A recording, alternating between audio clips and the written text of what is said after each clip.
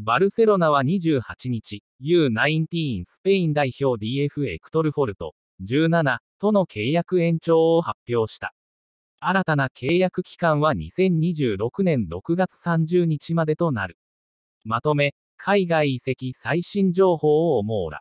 商法をチェック。2013年に PB アンゲラからバルセロナの下部組織に移籍したフォルトはバックラインの両サイドをこなせるユーティリティ性の高いワイドプレイヤー。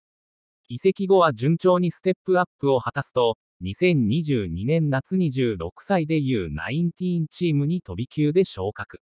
翌年にはバルセロナ B へ昇格を果たした。今季はチャビ監督にその才能を見出され、昨年10月からトップチームに帯同すると、12月14日のチャンピオンズリーグ、CL、グループ H 最終節のアントワープ戦でトップチームデビュー。ここまで公式戦10試合に出場し3アシストを記録していた。